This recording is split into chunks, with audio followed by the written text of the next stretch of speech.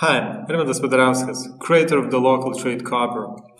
In this video I want to show how to set up client EA so that it won't close any positions that it have copied from the master account, but rather wait uh, until stop loss and take profit is hit. So in other words, if the trade will get closed on the master account, client EA will not follow that instruction and will leave trade running until stop loss or take profit is reached.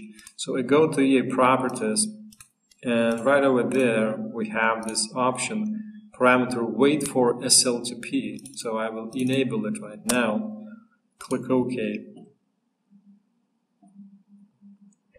And in the meantime, I go to the client EA, uh, sorry, server EA master account and I create a buy order and I will put a small small stop loss of 10 pips and take profit of 10 pips as well. It's not actually exactly 10 pips, but it was 10 pips from the current market price.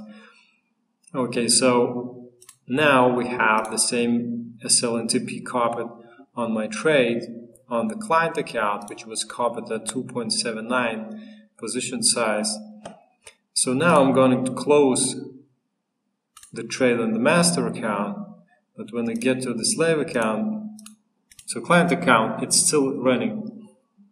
So client account waits until the trade uh, will hit take profit and stop loss. It will not close even though it's closed on the master account. Now if we open another trade, but this time, this one doesn't have any stop loss and take profit. See, it, it has been copied without SL and TP. And now I will close on the master account the same trade. The trade gets closed on the client account. So it has no stop loss and no take profit. So if client EA would have left this until SL or TP is hit, it will never happen. So such trade with no SL and TP in this operational mode would be a huge threat because it might damage your account, kind of blow your account. So because this, uh, the first trade has SL and TP applied, client EA didn't close it and it will wait for it. So actually both stop loss and take profit should be set for this to work.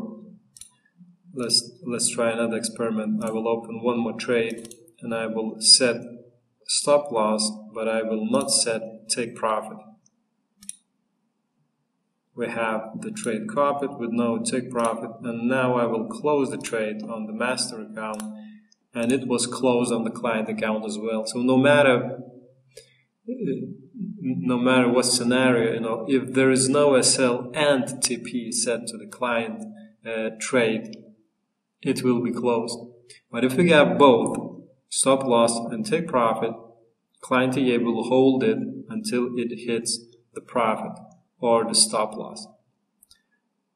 Now let's try and wait to see if we get this trade hitting stop loss or take profit.